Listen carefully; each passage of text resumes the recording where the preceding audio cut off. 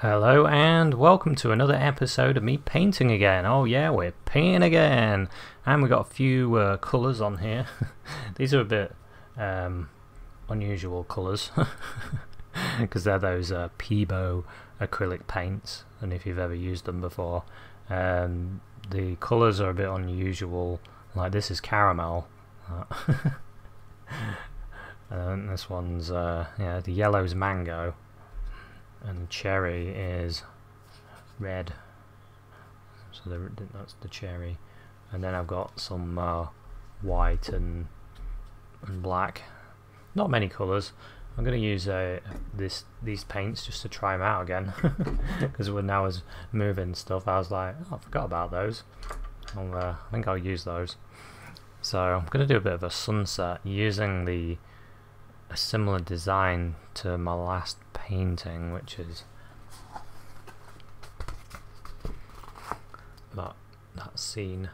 If you watch that one, I'm going to use sunset colours and do somewhat similar, not the same, just using that as a guide. Really, I like the idea of some water and uh, and a sunset. So I'll start with some of this mango yellow.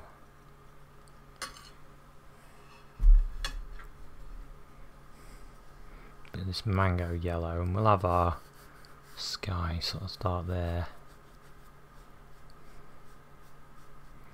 And then what I'll do is I'll use a bit of the cherry the cherry red. See what kind of pinkish colour we get.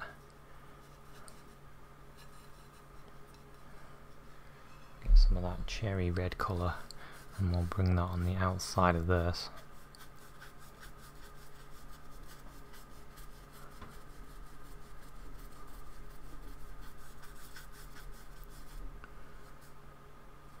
we can always go more red if we want to.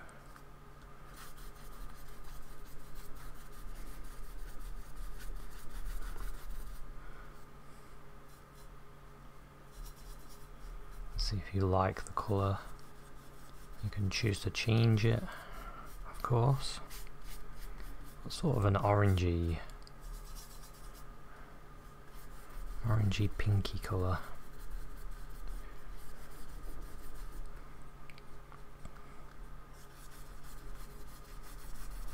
Got a little bit more red on the outside, I think.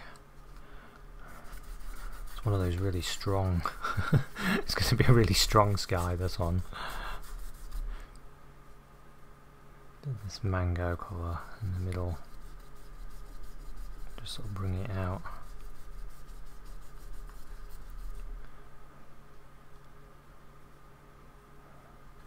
A bit more in the middle.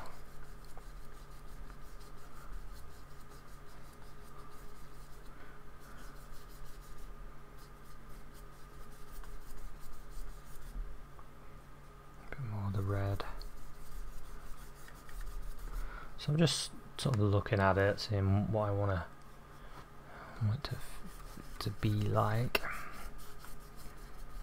Building it up, building the colours up.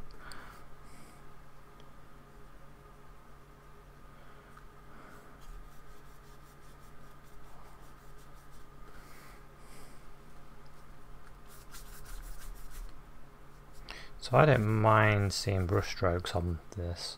I know if you don't want want to see brush strokes you can always smooth the paint out a little bit. Sort of uh, use another brush or clean your brush and you can smooth it smooth it a little bit. I'm not too uh, not too worried. More yellow in the center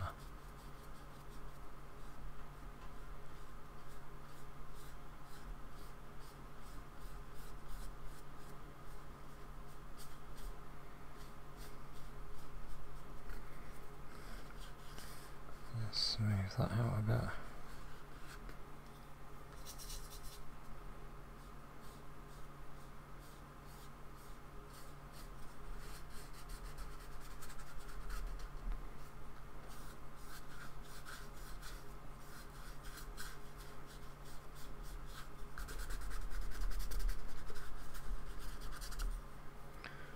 Okay, and then uh, I'll use this same yellow and red. Think about the water. I'll look like water here, so we'll use it along here. And then a bit more of the red in this area.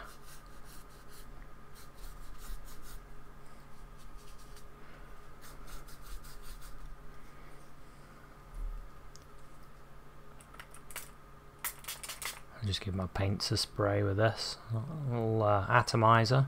Keep your uh, paint wet. just do a little bit, and then you can keep your paint nice and workable. I think that's the biggest problem with acrylics, isn't it? It's the one thing that used to scare me about acrylics. Scared by paint. Yeah, I was I was scared of paint.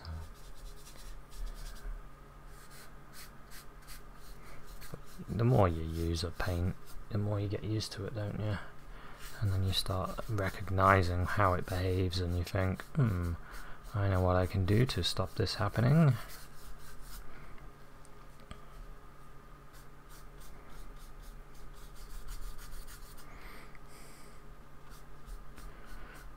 Right, as this dries, I'm going to uh, go for it a little bit more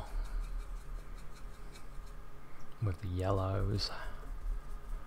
I'm just giving my brush a wash. I use a, uh, you see this dirty old tea towel that's on the corner of the screen over here. Wee. I wipe my brush on that and let it dry. It's a very crispy tea towel now. I've used it quite a few times. So I'm getting some yellow. I'm going to go, this is my light source there.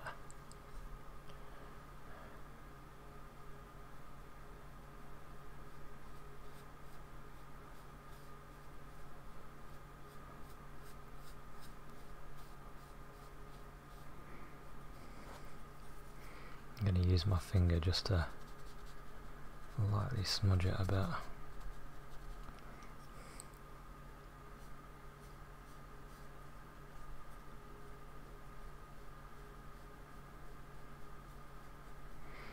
And then a little bit of this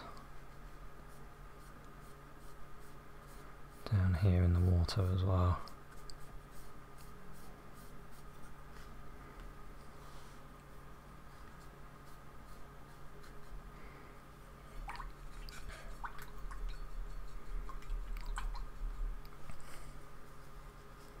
And you can choose how bright you want this to be, how bright you want the sun to be.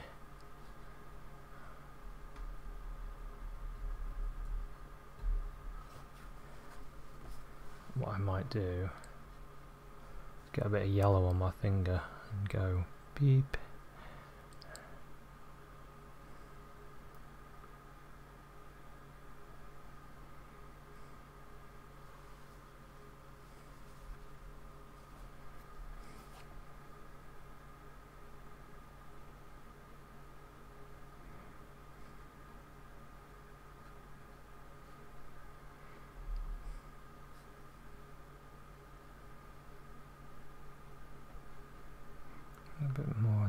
That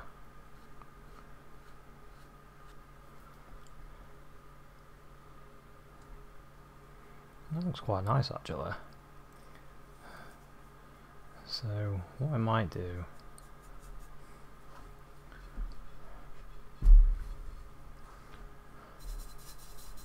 I'm to smooth this off a little bit here.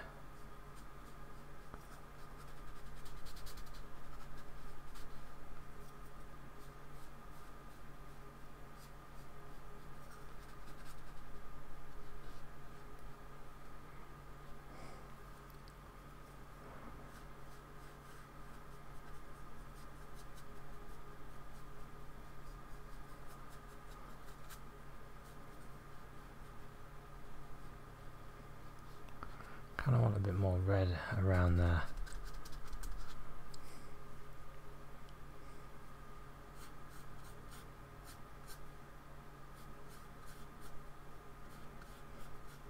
I'm just dramatizing it a little bit actually. Just want it a bit more dramatic. And if I uh, lighten it, that, hmm, quite like that.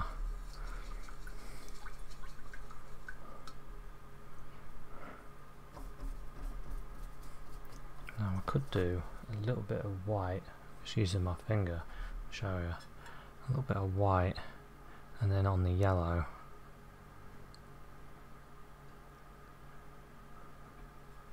make it even brighter colour.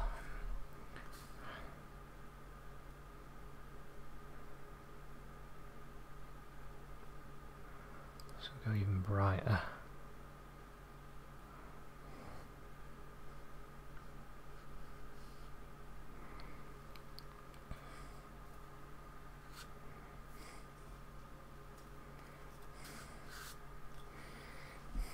Something like that. Now I want to uh, start putting some trees and things around. So what I'll use is some of this red, this cherry red, tiny bit of the black.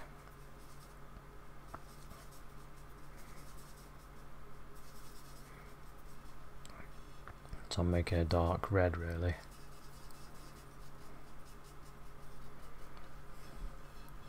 I'm going to use that for the land.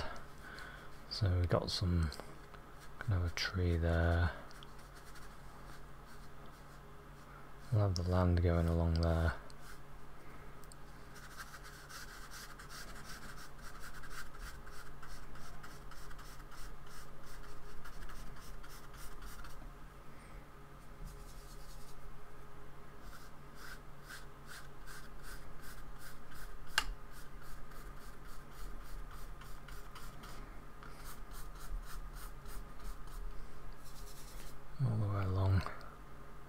Tree there.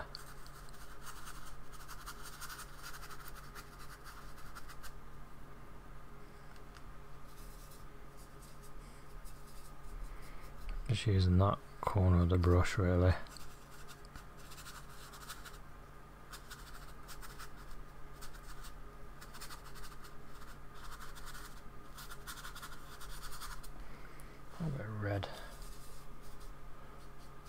go even some of these bits.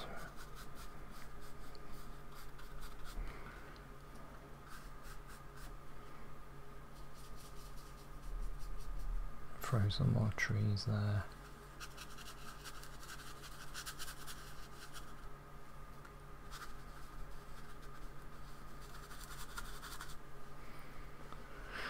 And we can reflect some of this in the water.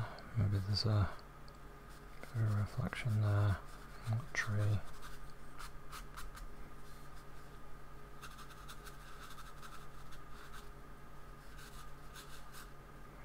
That one there.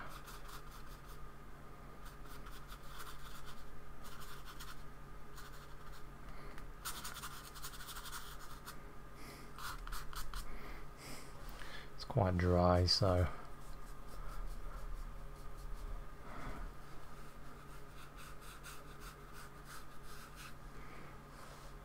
could even go, hmm, maybe, maybe the light, maybe there's a bit of light, it's uh, hitting this ground here, so we don't want that to be so dark, so maybe we can have a bit of uh, colour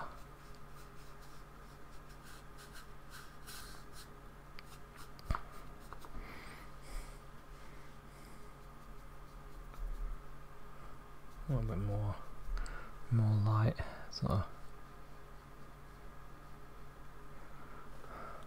It's just hitting that ground there. And maybe it's hitting that tree.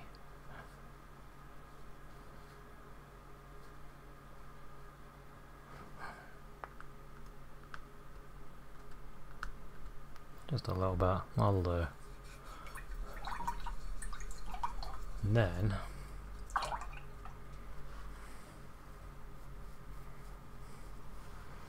this nice dark red colour Just cherry colour and black. Nice uh, dark. We can start putting in the, the land that's here.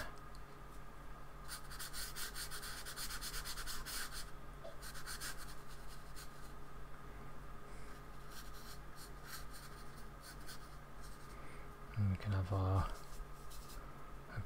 tree that grows there.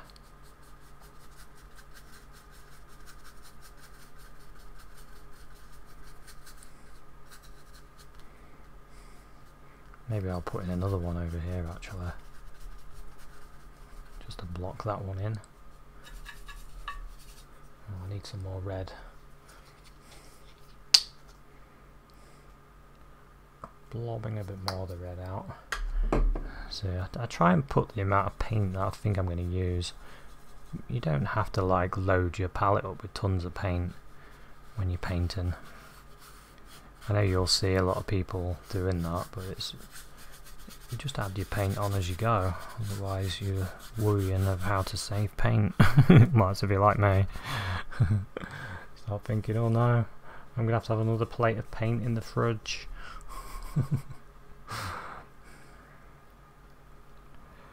a little bit more of that red in that ground there. Don't want it to be too uh, too dark.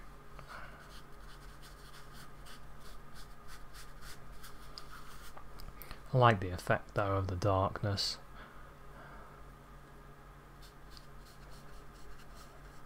See, if you wait for the paint to dry a little bit, you can get these sort of open strokes that work quite nice for trees.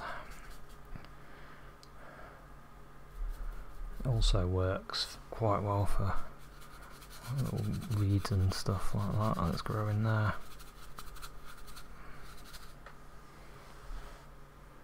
then I can grab a little bit of the colour, get a bit of this yellowy colour mixed in with my colour.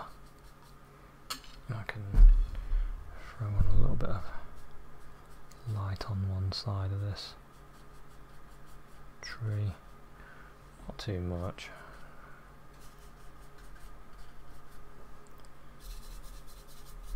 Same with this this ground as well. Can have a little bit of colour on it.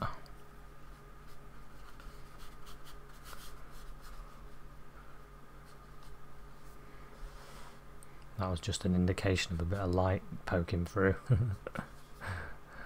fake light there, look. Can add a bit more light as if the light is sort of hitting some of the ground there.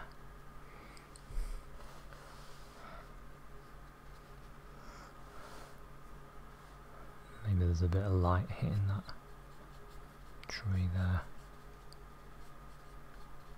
Probably wouldn't be, but just to make it a bit different.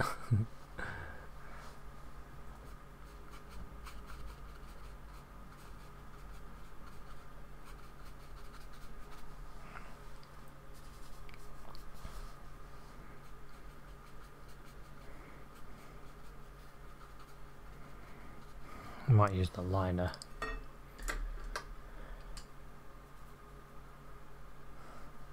Just to add a few little details in there. Some darker ones.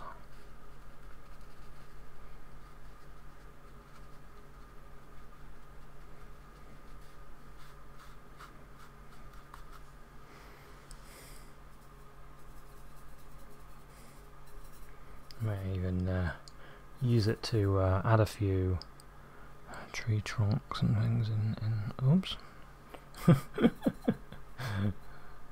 That's a bit bright. Pip.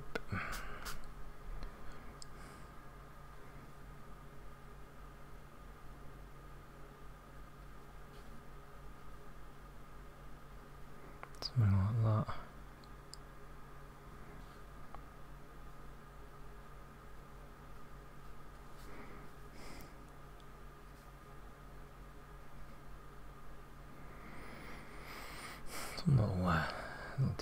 and things in the background. That's what you want to do. You can do that. You can even go darker in this area. Really shadow that bit.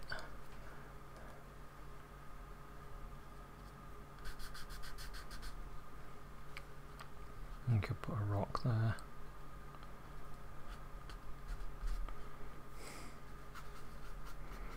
You could do all sorts. It's quite a nice, easy one that you could try. You could do this one, no problem. And you could, uh, you can even have like a person, or if you wanted a fisherman there, you could put someone fishing. Or you could have a boat, or you could have a little bird going.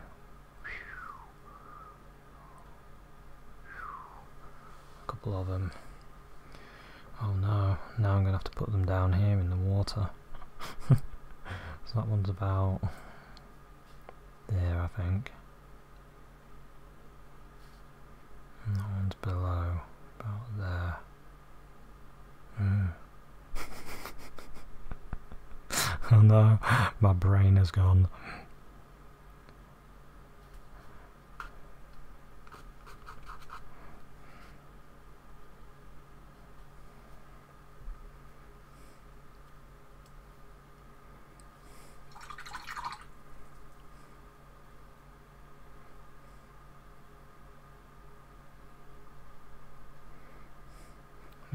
That bit.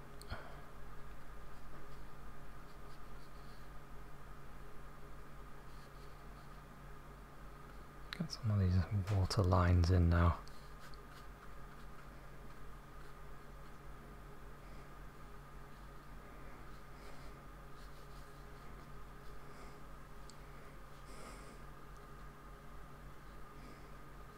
Just give the uh, water a bit of movement, that's all.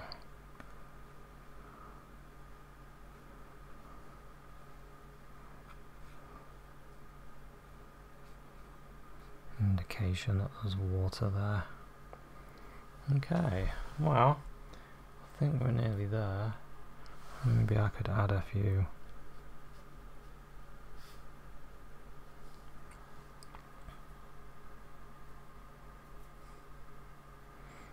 Could add a, a little bit of light hitting some of these if you wanted. Don't know if it's needed to be honest.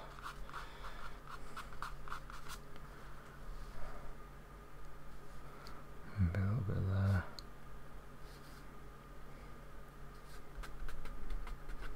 Sometimes it's better not to actually, because the the dark is what's helping things. It's how the dark here is helping to make that look more light there. So you can put a little detail in, a little, little subtle detail. It looks like a lot of detail when you're putting it in, as this dries it sort of disappears a little bit. And you'll just get a slight change in colour. It's another another way of creating things. But anyway I've enjoyed painting this one had a lot of fun. So I hope it gave you an idea of uh, changing the flavour up a little bit making things a bit stronger a bit more dramatic in colour. So thanks very much for watching this one and I'll see you at another one. Cheers, bye.